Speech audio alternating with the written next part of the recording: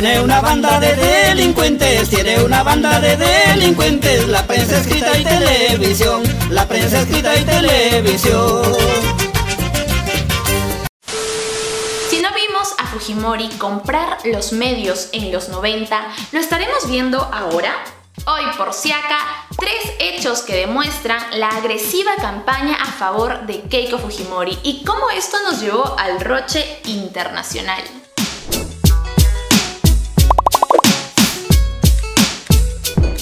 Primero, despido de periodistas a nivel nacional. Todo empezó con el despido arbitrario de Clara Elvira Ospina, como directora periodística de Canal N y América Televisión, del Grupo El Comercio, por no querer apoyar la candidatura de Keiko Fujimori. Lo mismo sucedió en el año 2011 con Laura Puertas por haber humanizado al entonces candidato presidencial y expresidente Ollanta Humala durante la campaña presidencial.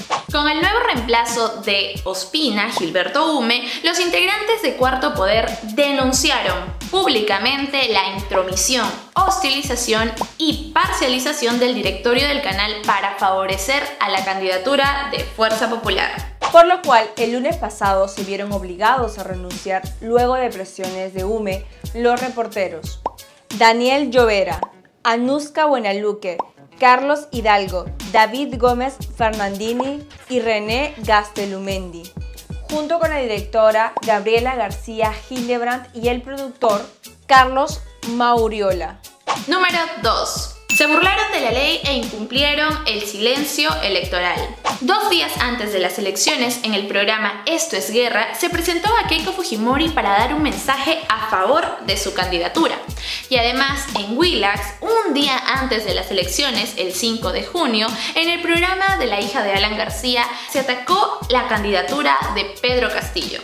Nos vamos a hundir como país si elegimos una propuesta maoísta estatista. Tercero, programas realities, spots publicitarios y hasta farándula a favor de la candidata naranja. Latina Televisión del Grupo Enfoca sacó un comunicado apoyando la candidatura de Keiko comparándola con la libertad y la democracia.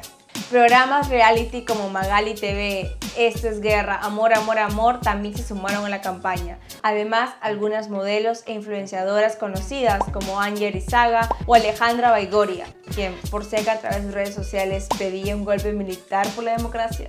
Ah, y no nos olvidemos de la campaña para llevar a votar a los adultos mayores. Voy a votar tres hechos no han pasado inadvertidos para los observadores internacionales, que compartieron su preocupación por el trato desigual que recibieron los candidatos a la presidencia por los medios de comunicación. Según el semanario Hildebrand en sus 13, Matt Kierkegaard, observador estadounidense del proceso electoral, señala que es preocupante, injusto y contrario al proceso democrático la concentración de medios de acá, Nunca hemos visto una prensa tan agresiva. Me he parado frente a una tiendita de periódicos y fue como una galería de ataques contra Castillo.